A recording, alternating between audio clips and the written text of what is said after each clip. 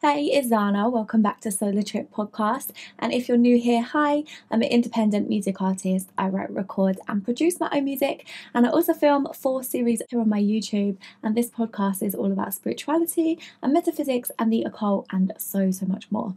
So, this video was requested on my Instagram because I posted a tweet on my stories.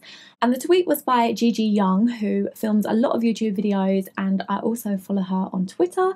So, I shared her tweet to my stories, and then one of you lovely people responded to it and asked me to film a video on it and elaborate on it because she wanted to understand it even further. So I figured we would do a whole video and we can talk about this because I have touched on it in a previous video. I can't remember which one because I do tend to talk about this a lot, but I've never just sat down and filmed a full video solely on this. So I'm going to read you the tweet and then we can delve into it.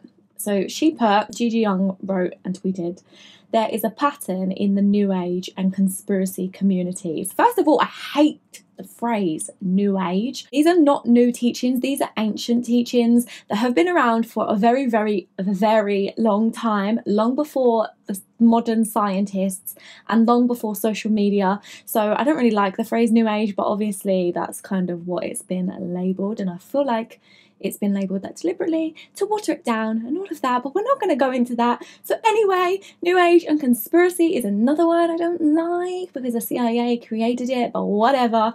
So, those communities um, there's a pattern in the New Age and conspiracy communities to detach from our connection to the organic earth evolution paradigm and our spirit by giving our power away to parent like beings.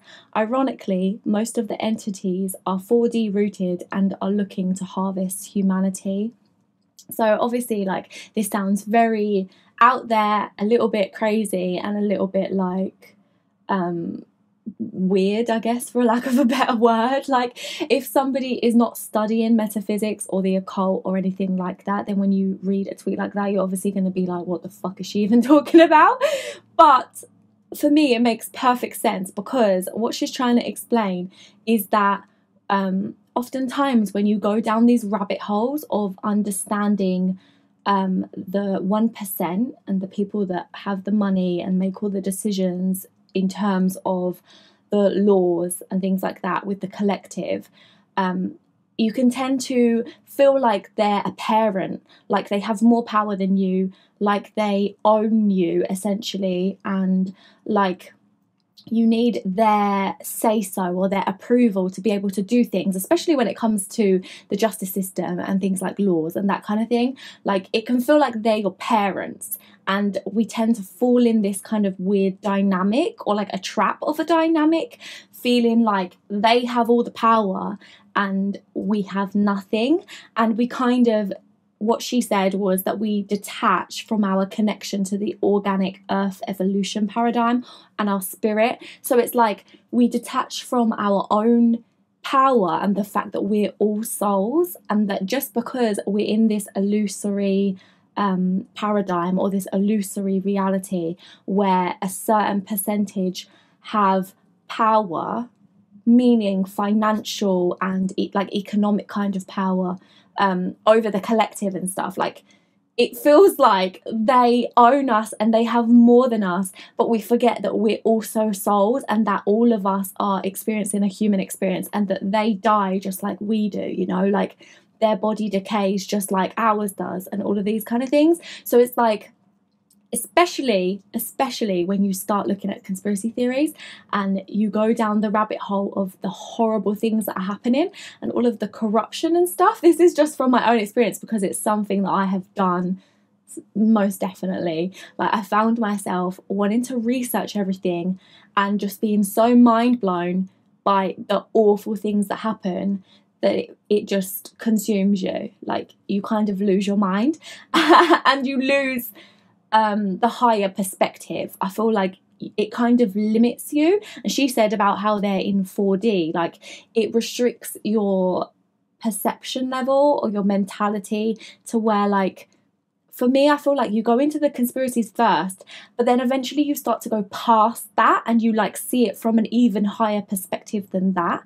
And some people tend to get stuck there in all of the corruption and the horrible things because they're so traumatic and they trigger so many negative emotions and you find yourself wanting to change it and do something about it and like it can get frustrating and make you want to tell all of your family and everybody that you know and just wake them up and shake them and make them read the articles, read the books, watch the videos, and actually see it for themselves. Like, you literally just want to make people snap out of it. But I've come to realize now that the um, deeper you go into your own shadow work, not just reading about external history, not just reading about external experiences and memories and things that have happened here, but also doing your own internal work and understanding your own belief system, your own generational trauma, and things that have happened in the past throughout the generations, even your own past lives as well, because we do carry over karmic cycles and karmic lessons from past lives. So, like, doing your own internal work really connects you to source and connects you to your higher self and all aspects of yourself. And I feel like eventually it can break the, I don't know what to call it, like the tunnel vision of looking at awful things. I feel like you can get in a trap of like trauma porn. Like you get addicted to it and you just want to know more. You want to learn more. You want to figure it out because you want to change it. And people get so passionate about it. And I think it's amazing. But at the same time, it's always to the detriment of our own mental health because we are one person. And whilst every single person has a huge, huge impact on the collective, at the same time, doing your own inner work is so important because we have such an impact on the whole collective. So, like, there's only so much external change you can do without doing the internal. For me, it just brings it back to yourself. It brings it back to your relationship with yourself because oftentimes, especially when you start going down a spiritual path, it can trigger your ego like shit. And some people, when they don't have self awareness, and I can even say that I've done this, when you don't have self awareness, you don't even realize that you're coming from a place of ego. Like, even wanting to wake people up is coming from your ego. It's not coming from your higher self because your higher self knows that everybody is going to wake up in their own time. And even if they don't, this experience is just one experience, it's just one lifetime, it's just one angle of perception. And they're still consciousness, like you're not better than them because they're still fractals of consciousness, just like you are. Do you know what I mean? Like, so I feel like there's different ways to look at it, different levels to look at it, and all of them can be valid and right and real at the same time. So for me, it's just about like, even though it's good to understand the truth of what's happening, I don't want to call it a conspiracy because it's not a conspiracy. Like, it's a it's actual truth, you know? And obviously the CIA created that phrase or whatever. So we're not even going to call it that. Like when you're searching for the truth, even when you find things that aren't real and that are lies or whatever, the process and the even intent of wanting to find the truth, I feel like that's such a good thing and a beneficial thing in a um, reality full of deception you know like there's been a lot of deception for a lot of time. So i feel like even having the intent and the will and the desire and drive to find out the truth and to constantly want to know it is an incredible thing. But at the same time a lot of the truth that you actually need, the truth that you can integrate and use within your daily life, is something that's within you and not something that's external the things that we actually need to implement is shadow work. The things that we actually need to implement is understanding our own thoughts and our own beliefs, our own emotions, and being able to regulate them, you know, so that we can have better relationships while we're here. Because at the end of the day, like the main thing that we do in life when we're here on earth is we have connections, we have relationships, we have friendships, we have family. Like without that, everything would be pretty boring and kind of meaningless, you know? Like, I swear they even say that um, loneliness and isolation is like the most traumatic thing because.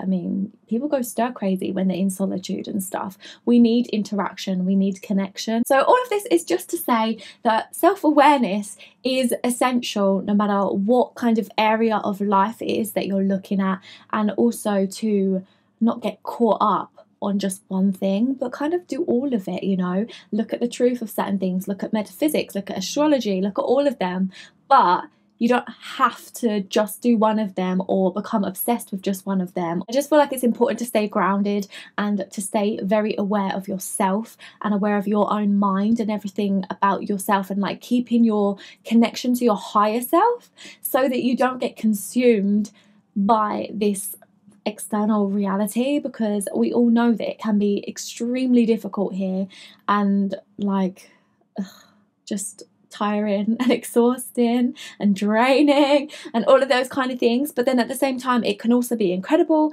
It can also be filled with so much love and so much joy. So just having that balance within yourself and being able to stay grounded within yourself and connected to yourself to all aspects, including your higher self, will really, really benefit you no matter what area of metaphysics or history it is that you decide to look at, or even the present, because there's a lot of trauma going on in the present time as well. So yeah, just having that connection with yourself is so, so essential. And I feel like that is the basis of what she was saying in the tweet. So I really hope this video was helpful. Thank you so, so much for listening and watching. I really appreciate you. Definitely check out the description box below for everything about me, links to my music, my social media, my phone number, because I send daily spiritual and um, what was the other word I was looking for? I send daily spiritual thoughts and videos, as well as links to my jewelry brand, Elemental Mirror, and also one to one sessions with me if you would like to book a session with me. And I will see you in the next episode. Bye. I